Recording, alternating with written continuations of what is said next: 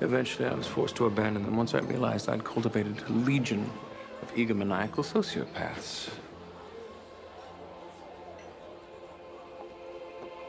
I'm headed straight for the castle. They wanna make me their queen. It's quite like your city's own beloved masquerade. Beneath the disguise, the poor become rich, and the rich, well, they can do anything they please. We're the top of the food chain. The smartest, the strongest. And we take what we want. And now you want me. Tristan has been a collector of extraordinary talent for the better part of a millennium. He chooses the best of the best, and then helps them evolve. Tristan wants to help me reach my full potential. Is that right? You're clever, bold, a talented strategist.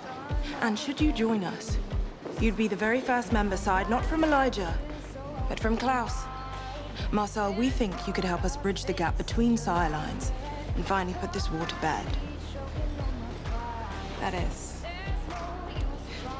if you are in fact everything we hope you to be. Sitting on the throne saying I should probably keep my pretty mouth shut. Straight for the castle.